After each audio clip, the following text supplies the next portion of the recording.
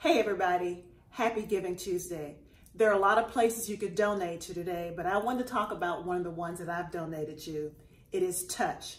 All of us have been impacted by cancer. I've seen cancer firsthand from relatives, people that I love, and people that I work with.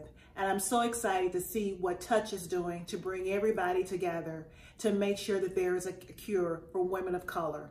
So please, as you consider where to donate to, consider touch. It's making a difference.